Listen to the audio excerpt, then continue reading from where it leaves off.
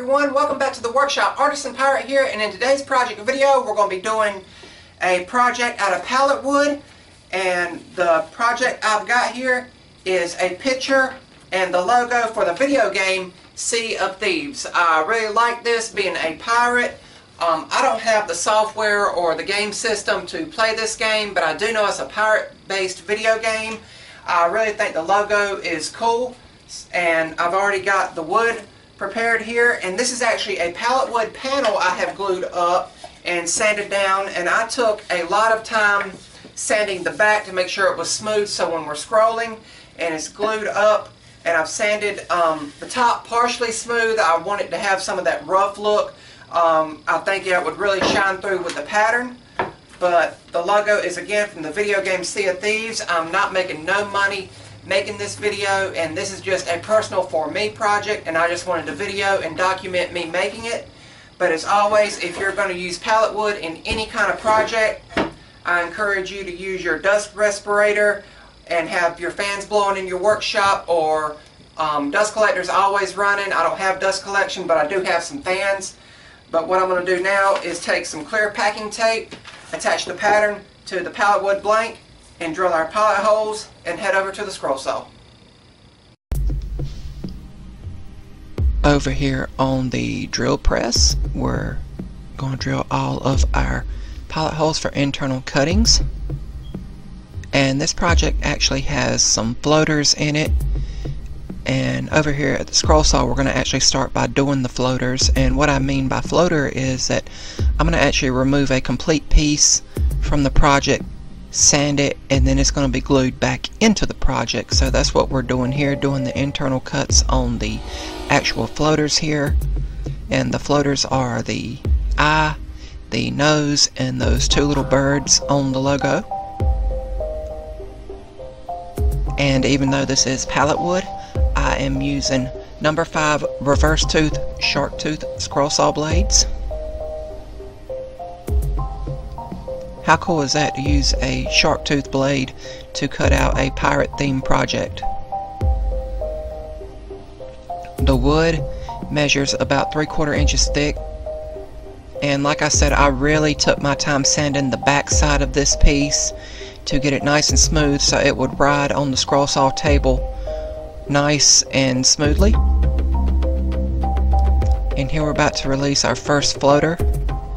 And I'm gonna take it out and show it to you guys. And we'll set that aside and cut out another floater.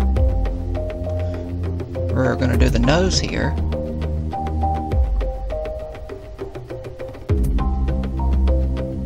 And it actually has the um, shark's fin in it, which is real neat.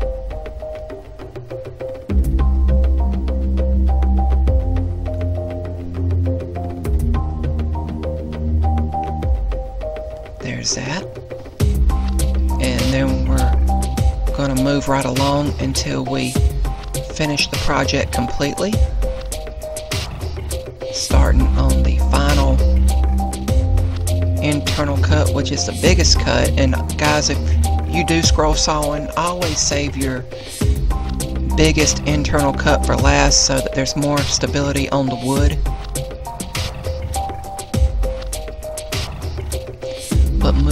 Along here along the pirates at the bottom.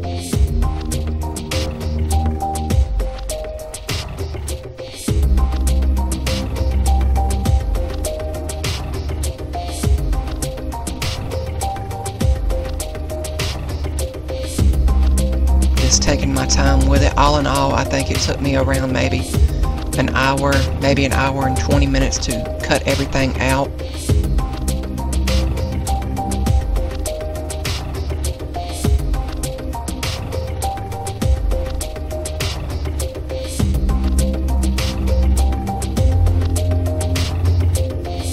Again, I have never played Sea of Thieves or even know what the storyline is about because I don't have the software or the actual game system to play the game on, but if it's a pirate game, I'm sure it's a good game.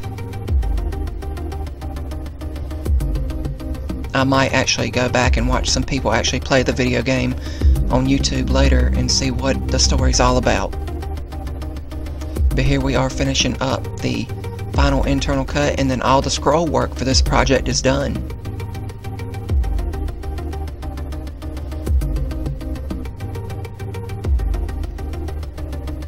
And we're going to carefully slide it out and then clean up where the pilot hole was and take it off the scroll saw.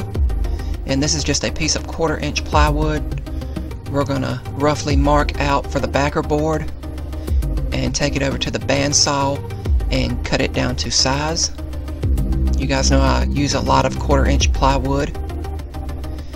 And then we're going to hit it with a high grit sandpaper with the palm sander.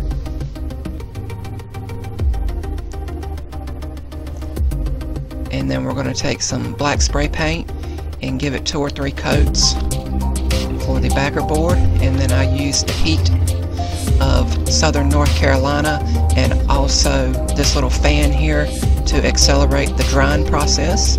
And while it was drying, we come back over here and take the pattern off the piece so it can get ready for sanding and I brush off some of the sawdust that's already accumulated with just a brush and then I move the palm sander over here to this workbench to where we can sand it and just doing a light touch because I didn't want nothing to break and I was actually surprised that it didn't require that much sanding given the nature of pallet wood. But now that the backer board has had time to dry, we're going to move over here and use Gorilla Wood Glue to glue everything together.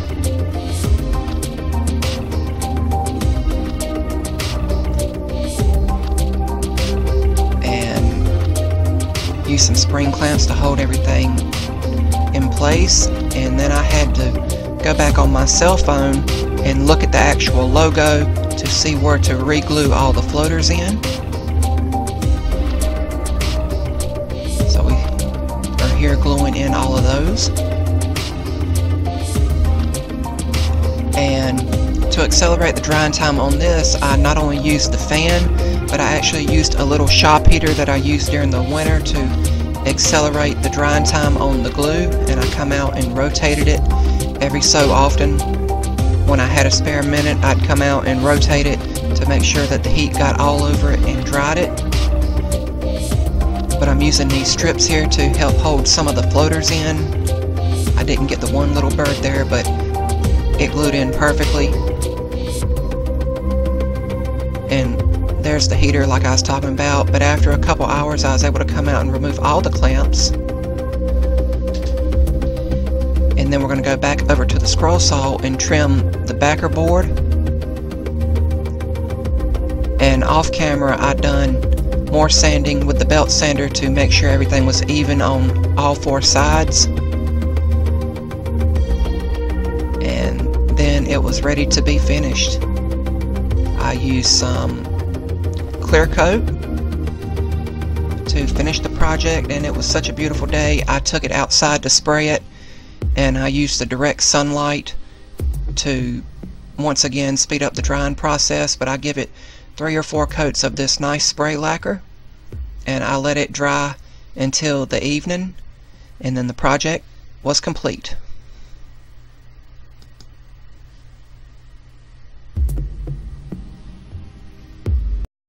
Now before I show you guys the finished project, I want you guys to know that images like I've just cut out are subject to copyright, so always be aware of that when making stuff.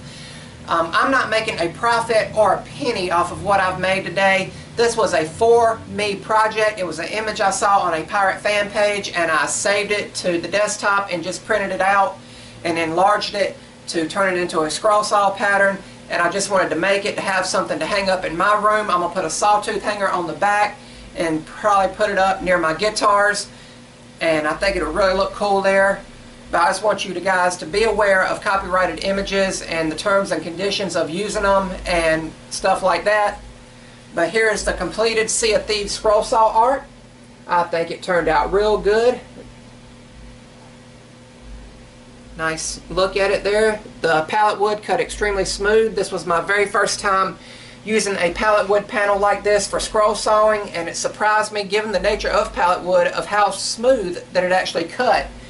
Um, and I really think gluing in the floaters like the nose, the eye and the two little birds here really give it extra character and all. But I think it turned out real good. Sea of Thieves, scroll saw portrait. And I really like how the farther back you get, the more it actually looks like a skull, and then the closer you get to it, you see a lot more of the details. But I really love that. That's about all for this video, guys. Remember, guys, if I can make it, so can you. I'm the Artisan Pirate. Take care, and I'll see you guys real soon.